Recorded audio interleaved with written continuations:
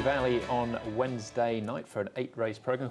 Competitive card, no feature race as such, no cup race, but a really good uh, class two to finish the program. Very warm welcome to Racing to Win. I'm Andrew Lejeune, joined here in the studio by Paul Lally, our form expert, and Brett Davis, the race caller as well. And uh, Brett, say, probably the, the last race really the highlight, isn't it? Absolutely, yeah. It's another cracking uh, opportunity for Convincible to make it four on the trot. He'll take on Alma Baby, who ran him within a neck, of course, of uh, the last time they met. A couple of other very interesting runners in the race.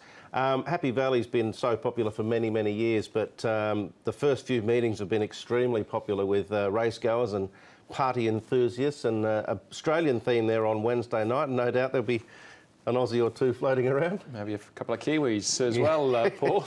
Um, I no, hope so. No, the tone of the place. no massive jackpots this week in the Triple Trio Six Up, but uh, still something to play for. Uh, yeah. as far as they're concerned. Yeah, there's the uh, six win bonus 1.2 million in the double trio. There's a double trio bonus for the second double trio of 1.4 as well. So a little bit of extra money floating around. And the six up's always a popular bet uh, Happy Valley. Yep, rail in the sea position and uh, weather is expected to be it's okay. It's been hot, hasn't it? It's been very hot and actually sunny. Um, yeah. Normally it's overcast, but we've had some sunny days here in Hong Kong, and I think that's expected to continue for another day or so. All right, excellent stuff. All right, before we get into uh, the Happy Valley program, let's look back on what happened at Sha Tin on the weekend on Saturday then, and their feature race.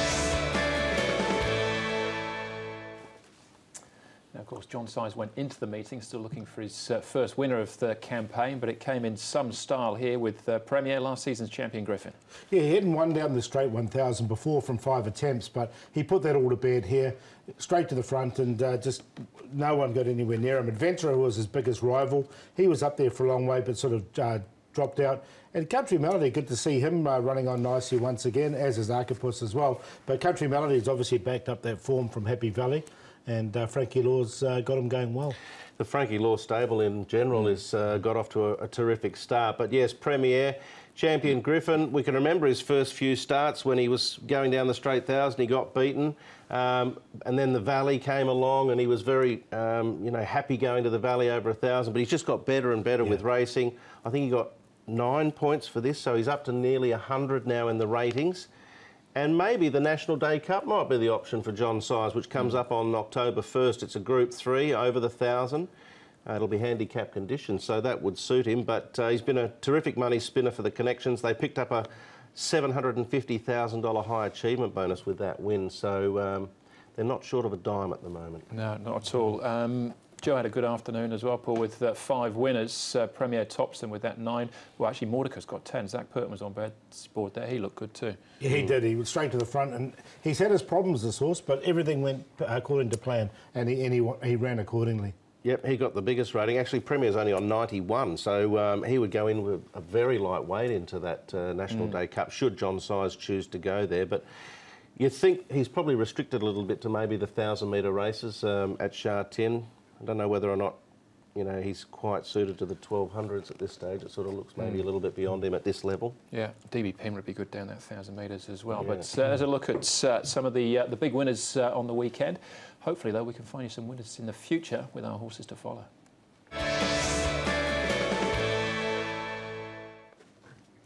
All right, Paul, you're up first. What do you find? Mr. Potential, he's had uh, two starts already this season, and I thought that both runs he's been running on nicely. You can see he runs on for six. He's down the outside. This is 1200. He steps up to 14, or even if they keep him at 12. I thought he hit the line really nicely uh, as well down the out uh, here, and he, he didn't give it away. He'll be a real fit horse going into his next start. This will be his third, and he did win a couple in a row last season. He has got potential, and I think uh, he can he can live up to it. I get the feeling this might be a reasonable reference actually, because Who Dat Singer went okay too, mm. didn't he? So both he and Mr Potential yep. uh, could be a couple to follow out of that. Yeah, I think there was a few actually floating around on there Saturday, were. weren't they? But what did you decide with in the end? Um, I ended up going with one Jenny suggested from the paddock. Looked quite well. Let's take it easy. Now, if you go right back through his form, there was a run from him towards the end of last season where he showed a fair bit of pace and wasn't beaten too far behind horses like um, Imperial Gallantry and Such a Happiness. Now, he didn't have the pace to be up there on this occasion, but he did fight on quite strongly. Um, he had two starts in Australia for two wins under the title of Lock Oya And I get the feeling that he's just come right. Jenny suggested he looked at okay in the paddock too, so he might be one to follow. And he's got a lot of pace, so wouldn't be surprised to see him just jump straight to the front and win one. All right, okay. I'm um, following up on a previous horse to follow from last season. I said he was a long-term prospect then. Maybe we're getting closer. Winning Faith. Um, there's actually probably a couple out of this race you could uh, you could at. Hair Trigger was a huge run, just start peeling to the outside again. This course was top beautiful, just overhauling Beauty Master. Um, but uh, just thought Winning Faith. They gelded him in the off-season. Master Viking was pretty good here too as well. The grey just finishing off.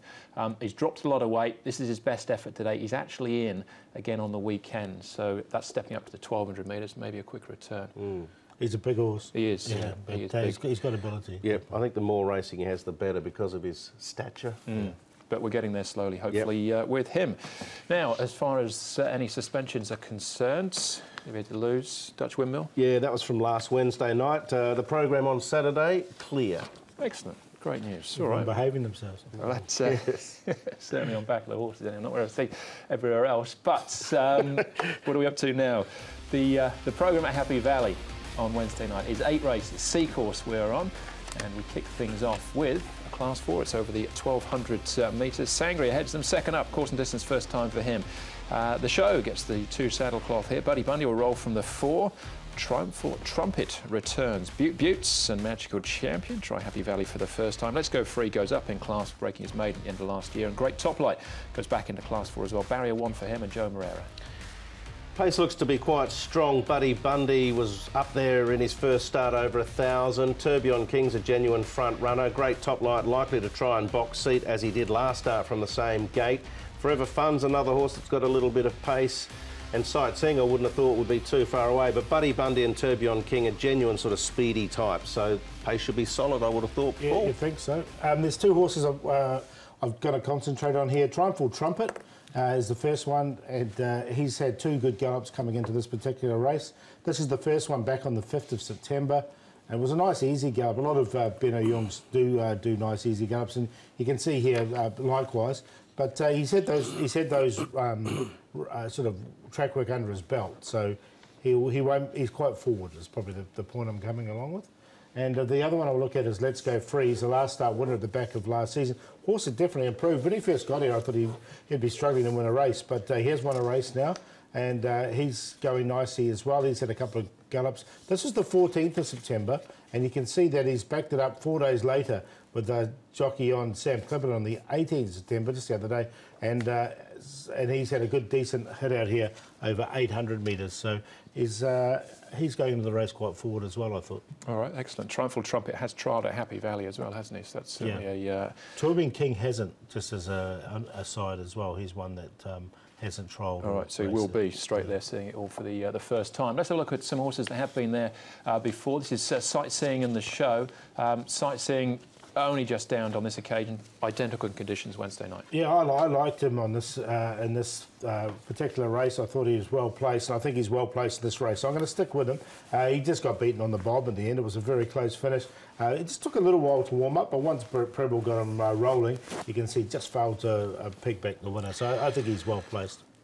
Yeah, look, I ended up coming back to him as well, but I'm not overly convinced about that good companion form line, to be honest. Um, so I ended up coming back to uh, sightseeing too because it was a good run and he had a little excuse, but um, get the feeling there's could be a little wobbly in this race right. The show wasn't the worst there, but he's got a worse draw this time, hasn't he? He's come at barrier 11, so it makes it a little bit difficult uh, for him this time round. Um, our early favourite, he's come up very short as well, is uh, Great Top Light. Up in class, Moreira off the inside gate.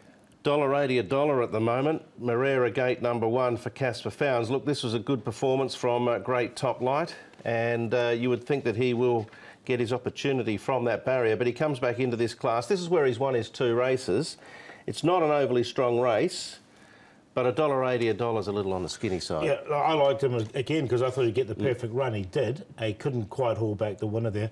He'll get the perfect run once again. He's rated 40, one off 49. Now, his two wins have been off 1650.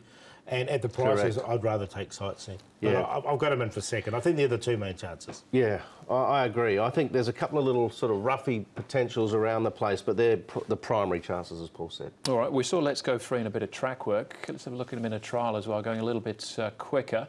Um, how do you Well, what do you think of this? It's um, not a bad effort, I, don't think. Yeah, when you look back at the form from last year, it reads quite well. He was just sort of finding his form and then he got a race defeating Planet Giant, but it was 1650. The distance of this race at 1200 is going to be the question mark. Now, he's had the trials, as we've seen, the track work improved and so forth, but um, I don't reckon the trip's right for him. No, I think he'll be back. He'll be running on late. So Mm. I, I put him in for fourth because I, I don't think it's an overly strong race, this particular one. So he, with that pace that looks like it's going to be in the race, I think he can finish off the race nicely enough without winning it. Yeah. All right, each way player, possibly Yeah. for the wider exotics as well. But sightseeing for you in the first ball? Yeah, look, I, I do like this uh, sightseeing. I think, he, and he's a, he's a good price with um, a great top light in, but that looks a Quinella for me. Tourbillon King, now he's never raced uh, here at Happy Valley before, but he'd be right on the pace on the sea course, and uh, he's got plenty of speed. I think he should be suited by the Happy Valley. It's just one of those ones you, you can't put him on top because you don't know he's never raced there, but not a single doubt, do run well at Happy Valley.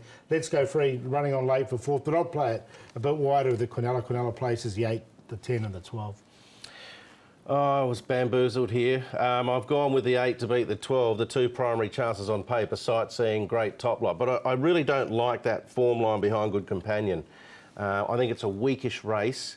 It was the race where I tipped Smart Salute because of that very reason. Buddy Bundy stepping to 1200 with a run under his belt. He'll be up on the speed with Paul's Tourbillon King. They could end up maybe even Quinellering it if um, something goes wrong. And Triumphal Trumpet is drawn 12.